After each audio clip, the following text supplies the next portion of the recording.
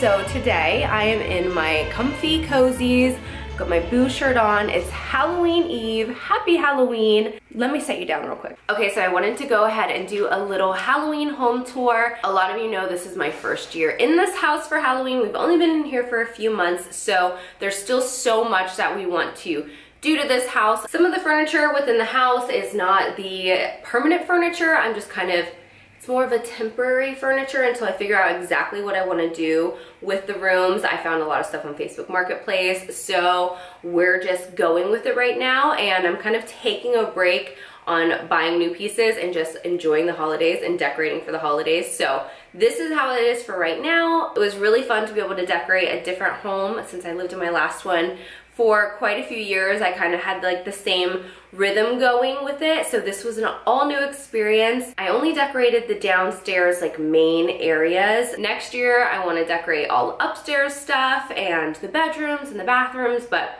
this year, we just stuck with the downstairs main living areas. I also this year inherited a lot of my mom's old Halloween decorations, like this big butler guy back here and some of her witches and stuff. She's not really decorating for Halloween that much anymore. My family's kind of coming to my house now, so I got to inherit a lot of her really cool decorations. I'm excited to share with you this little home tour. I was debating on doing like a voiceover. I don't think I'm going to do any voiceover. I'm just gonna put some cool vibey music with it. So I hope you enjoy the little house tour. If you do, make sure to give it a thumbs up and let me know in the comments below what is your favorite area of the house that I decorated. I am not sure. I really love the porch.